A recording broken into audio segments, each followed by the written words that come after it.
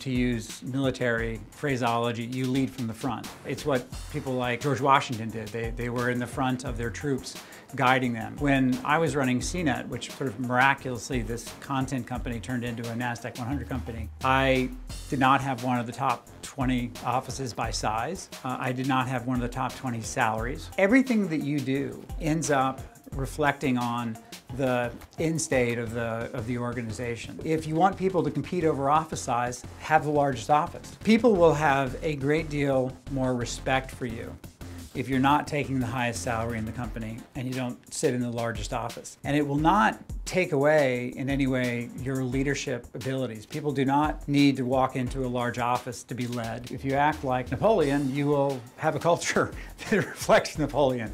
Um, if you are like George Washington, you'll have a culture that can do anything.